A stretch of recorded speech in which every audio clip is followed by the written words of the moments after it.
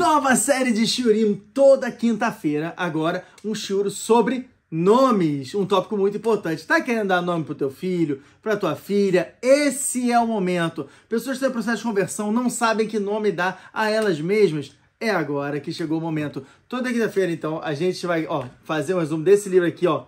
Baruch Hashem. Aqui, minha esposa comprou, chama-se Sod Neshamot Bnei Adam.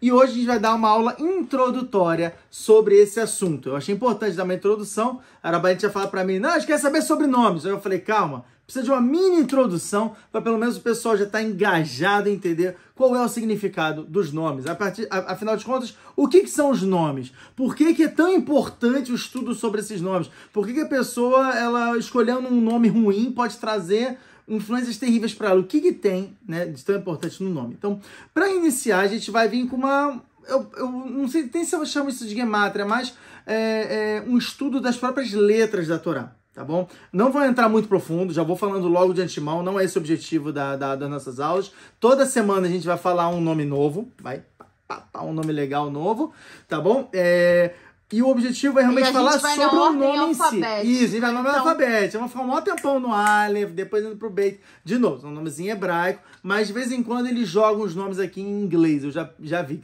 que de vez em quando aqui o autor ele joga.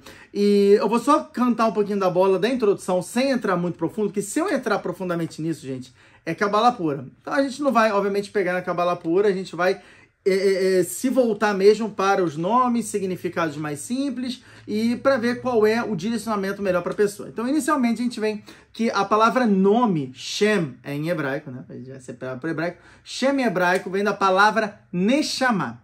Agora, Neshama é o que? Nun, no meio tem Shem, tá lá o né, Shem, e Rei no final tá bom? Nun, ele em Tsiur chama-se. Você tem duas maneiras de você estudar as letras. Uma é chamada de Reshbon, que é cálculo, que é Gematria, né, a famosa neurologia. E você tem como, tem como escrever é, de, pela parte artística, ou seja, pela letra, pelo, pelo desenho da letra. O desenho do Nun, ele parece um homem sentado. Assim, é um Nun, né? Tipo, não loser, tá? É um Nun.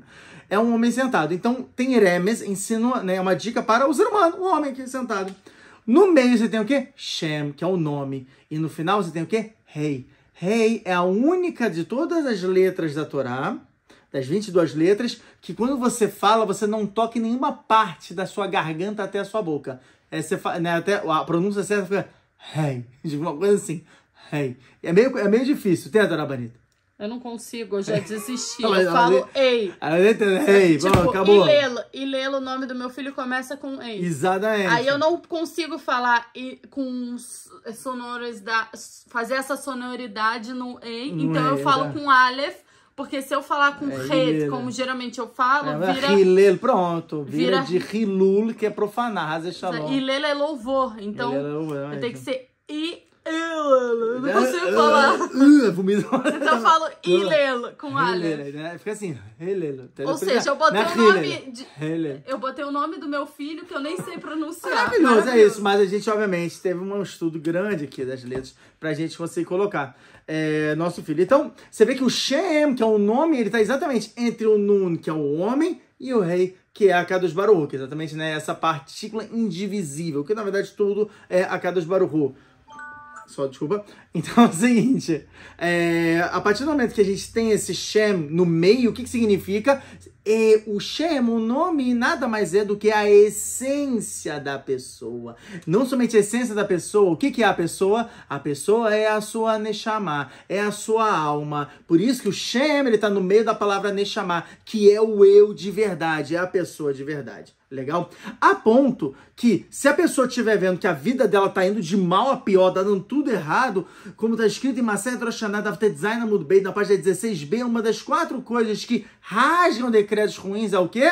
Shinui Hashem. Você mudar o seu nome. Olha só, por que, que mudança de nome é tão importante? Porque a partir do momento que o nome ele é a essência da minha alma e eu tô apanhando absurdamente da vida, eu posso mudar isso. Olha que interessante, eu posso mudar todo o meu destino. Eu posso mudar toda a minha realidade através de uma mudança de nome, uma coisa simples, mas que não é tão simples. A ponto que o Marana Hidá, ele fala que se você mudar o nome, você tem que tomar muito cuidado. Primeiro, não é você que tem que tomar, mudar o nome. Você tem que falar com um grande Talmud Raham, um grande sábio. Ele tem que ter as cavanotas corretas, você tem que ter uma pesquisa correta na hora de mudar o nome da pessoa. Existem tem que conhecer letras... a pessoa, porque muitas Exatamente. pessoas chegam para mim e falam ah, me escolhe um nome não é pra é mim. Assim. Eu falei, não, eu tenho que conhecer realmente Tem que ter um estudo você, muito profundo da pessoa. A sua essência. É até Exatamente. interessante até fazer romata para sul pra poder entender a Exatamente, pessoa, pra poder pegar o nome correto. É, tá tudo junto. Porque, por exemplo, tem letras que são equivalentes ao elemento fogo, tem letras que são ao elemento água, ao elemento ar, ao elemento terra. Tem letras que são masculinas, tem letras que são femininas.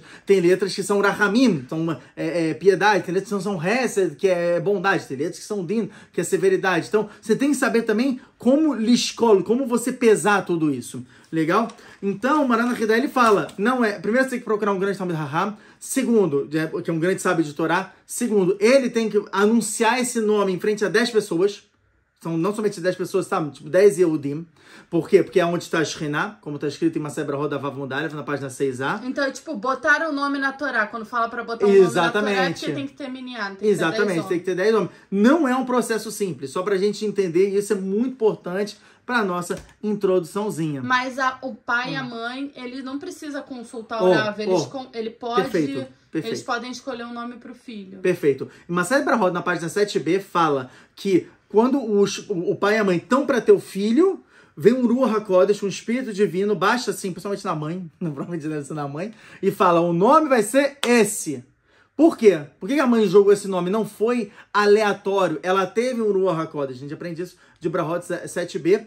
E eu falei então, no caso seja, convertido... a mulher que tem que escolher o nome. Ó, oh, é, é, pode ser, pode ser. O homem pode sugerir, mas a mulher que pode dá sugerir, mas a mulher, a mulher que no final escolhe. A gente sabe disso, vamos ser Nasceu realistas. dela, ela decide tudo. Acabou. E se for convertido, que até ele traz o caso de Ruth, fala que a, a pessoa que está se convertendo, ela recebe esse Ruach. Ela recebe esse próprio Espírito Divino na hora para gerar o seu nome. Por isso que até o Marana Redel fala, é melhor que você adicione um nome, caso a pessoa esteja com uma doença terrível, estado terminal, tal, não sei o quê.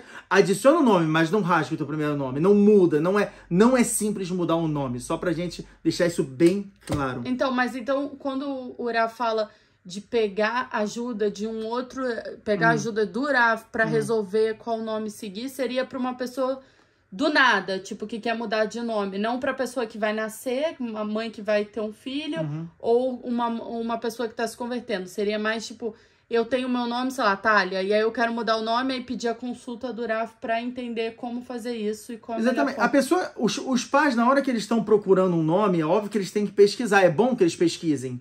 Mas só pra você entender que tipo, não é pra pessoa ficar em pânico, pegando esse livro e lendo cada detalhe. Não, a Queda de Moro vai mandar o nome pra pessoa, é isso que eu tô falando. Mas é importante Entendeu? de autoconhecimento você já Exatamente. saber como é a sua criança, como Perfeito. é que vai ser a sua criança. Exatamente, fala assim, eu, eu quero uma criança mais com, essa, com a característica X. Então você vai dar esse nome X. Eu quero uma característica, eu quero uma criança com uma característica Y. Então você vai dar um nome Y. Dependendo do nome que você escolher, a criança ela vai realmente estendendo pra esse lado. Por exemplo, meu nome é Yitzhak. Yitzhak é Medatadin. Então eu, eu, eu sou muito Midatadina, eu sou muito severo. Porém, eu peguei isso e eu joguei o quê? Pra Alahota, eu joguei pra Kabbalah, eu joguei pra isso. E isso me traz um fogo absurdo que eu não consigo me desgrudar da Torá. Uhum. Por exemplo, já uma pessoa com o nome Avraham é mais Hesed, é mais bondade, como a gente vai ver aqui futuramente. Então é uma pessoa que ela é mais é, é, é de fazer ações e tudo. Ou seja, o nome vai influenciar a pessoa, mas os pais precisam direcionar essa pessoa para conseguir exatamente, atingir o objetivo. Exatamente. Porque Até senão... porque a gente vai ver aqui que um nome ele tem sempre duas características, tem uma positiva e uma negativa. Se, se o pai não direcionar as características de maneira positiva, fatalmente a criança vai para o negativo. Porque é, é aquele pai, é mais fácil ir para o negativo. Uhum. Então, todo o trabalho dos pais, são 13 anos de preparação dos pais, né? Para criança fazer bar mitzvah, no caso de menino, no caso de menina fazer bat mitzvah, são 12 anos de preparação para realmente receber o Yetzeratov, assim, né? Como está escrito nos outros, para já vai estilar logo na Akdamai também ler lechar. Então, resumidamente, você vai colocar o nome do seu filho com as influências uhum. que você quer, mas você vai ter que direcionar essas influências para não ir pro lado errado da influência. Porque, por exemplo, Exatamente. Avraham é Hesed, ele pode acabar fazendo Hesed com uma pessoa que não não seja boa pra Hesed. Tipo, aquele é falso.